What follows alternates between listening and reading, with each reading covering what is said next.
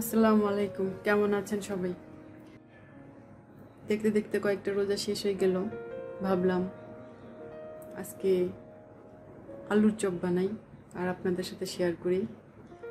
আমি যেভাবে বানাই, আজকে আমি আপনাদের সাথে সেভাবেই শেয়ার করব। তাহলে চলুন আলুর চপ বানাতে কী কী লাগে দেখি। আমি একটা বোলের মধ্যে একটা ছাকনি নিলাম, তার উপরে এক কাপ বেসন দিয়ে দিলাম। এটাকে চেলে নিলাম, তারপরে আধা কাপ আবার দিয়ে সেই একইভাবে চেলে নিচ্ছি। চালাটা খুব জরুরি।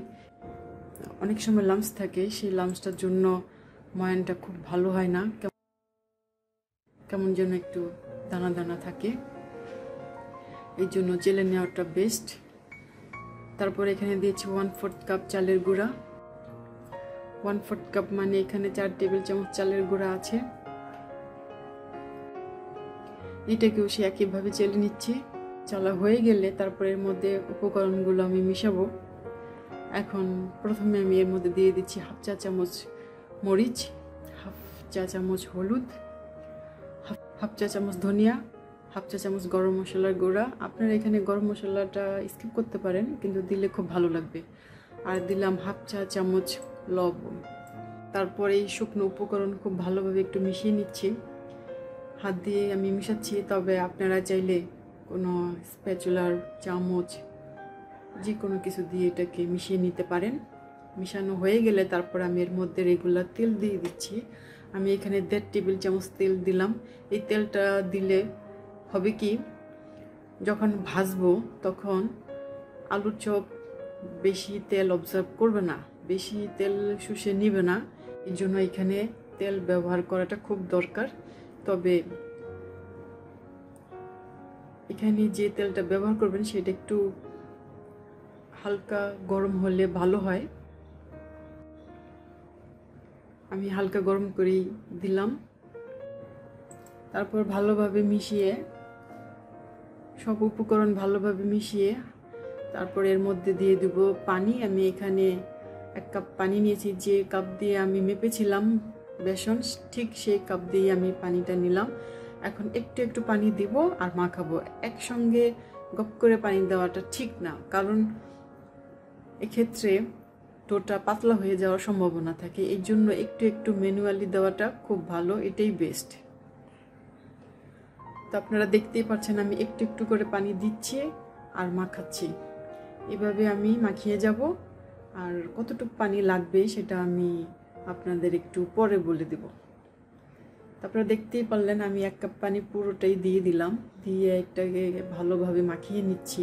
তারপর আমি দেখলাম আমার পানি আরেকটু লাগবে এই জন্য আমি আরও এক কাপ পানি নিয়েছি। কিন্তু পুরোটা লাগবে না, যতটুকু লাগবে আমি দিচ্ছি। পানি দিচ্ছি আর মাখাচ্ছি। এভাবে খুব সুন্দরভাবে মাখিয়ে নিতে হবে। কোনো লামস থাকলে সেটা ভেঙে দিতে হবে। যদি না ভাঙেন তখন আলুর চপের উপরে এটা ভেসে থাকবে, দেখতে ভালো লাগবে না। আমি খুব ভালোভাবে মাখিয়ে নিলাম, আপনারা দেখে বুঝে গেছেন কতটুকু ঘন হবে। এখানে মোট পানি লেগেছে আমার এক কাপ, সেই সাথে ওয়ান ফোর্থ কাপ মানে চার টেবিল চামচের মতো। আমার মাখানোর শেষে আমি দিয়ে দিলাম হাফ চা চামচ। বেকিং সোডা, যেটা আমরাকে খাবার সোডা বলে থাকি, সেটা দিয়ে দিলাম। এটা দিলে অনেকক্ষণ ক্রিস্পি থাকবে, মুচমুচে থাকবে। তারপর আমি আলু নিয়ে নিলাম, সেদ্ধ করা আলু। এই আলুটাকে আমি চপ বানাবো। আমি এটাকে খুব ভালোভাবে পেস্ট করে নিয়েছি। এখানে এক কাপ থেকে একটু বেশি আছে। দেড় কাপ হবে না, একটু কম হবে দেড় কাপ থেকে। তারপর এর মধ্যে দিয়ে দিলাম হাফ চা চামচ লবণ, হাফ চা চামচ চিলি ফ্লেক্স। এটা রেসিপিটা আমি করেছি, আমি শেয়ার করেছি আপনাদের সাথে, আপনারা চাইলে দেখে নিতে পারেন। আমি এটা লিঙ্কটা দিয়ে দিব। আর দিয়ে দিলাম হাফ চা চামচ গরম মশলা গুঁড়া, সেই সাথে দিচ্ছি ধনিয়া পাতা। দিয়ে ওটাকে খুব ভালোভাবে মাখাচ্ছি। এখানে গরম মশলার গুঁড়াটা দিলাম, কারণ খুব ভালো লাগে, সুন্দর একটা ফ্লেভার আসে, আপনারা করে দেখবেন। করে আমাকে জানাবেন কেমন হয়েছে।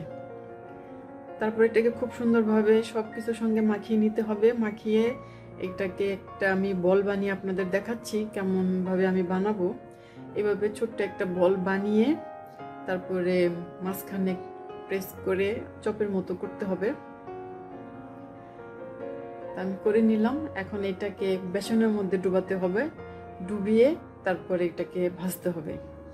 তবে আপনারা চাইলে এভাবে বেসনের মধ্যে ডুবিয়ে কাঁটা চামচ দিয়ে করতে পারেন যদি হাত ইউজ করতে না চান। তারপর তেলের মধ্যে আপনারা এটাকে সঙ্গে সঙ্গে ছেড়ে দিতে পারেন। অন্য একটা চামচের সাহায্য নিতে পারেন যদি এরকম লেগে থাকে। আরেকটা পদ্ধতি হচ্ছে হাত দিয়েও করা যাবে। ডো যদি পারফেক্ট হয়, আপনি চামচ দিয়ে করেন আর হাত দিয়েই করেন। খুব সুন্দর একটা রাউন্ড কালার শেপ আসবে। আঁকা বাঁকা শেপ আসবে না। এটা আসলে ডোয়ের উপরে নির্ভর করে। ডোটা কতটুকু পারফেক্ট হয়েছে মানে কতটুকু ঘন হয়েছে, কতটুকু পাতলা হয়েছে। পাতলা হলে এরকম হবে না। আর যদি আপনার ডোটা খুব পারফেক্ট হয় আমার মতো, আমি যতটুকু ঘনত্ব দেখিয়েছিলাম, তাহলে ইনশাল্লাহ আমার বিশ্বাস এরকম আপনাদের আলুর চপ হবে। আমি এভাবে আলুর চপগুলো সব ভেজে নেব।